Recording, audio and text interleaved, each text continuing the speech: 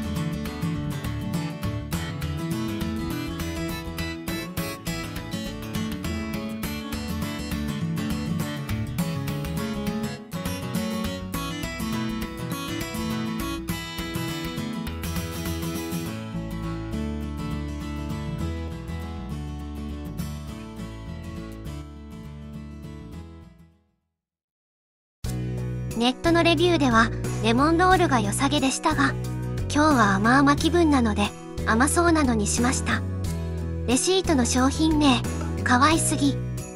ケーキはええお値段やったけどこの辺りはかなり安めやな。そう考えるとケーキがメインのお店かもですね。チョコシュー200円。1個しか買ってないのに保冷剤入れてくれたはる。申し訳ないです見た目が美しい。側は結構固めやな。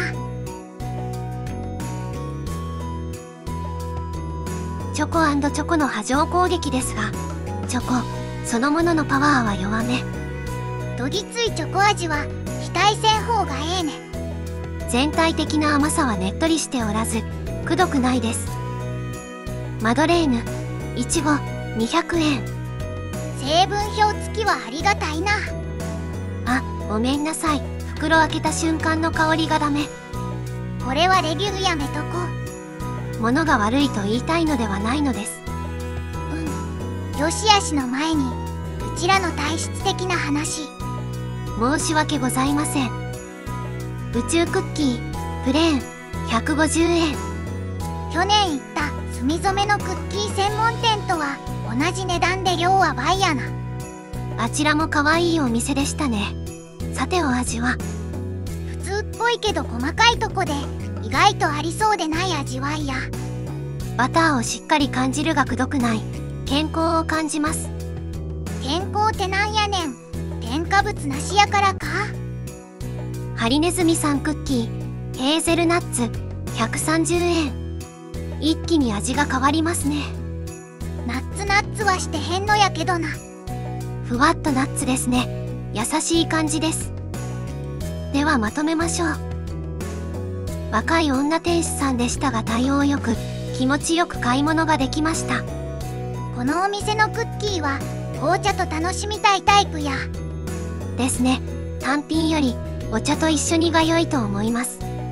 焼き菓子は見た目可愛いし味も豊富で価格お安めなのがポイント。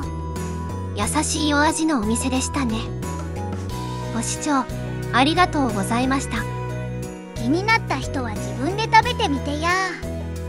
味覚は人それぞれやしな。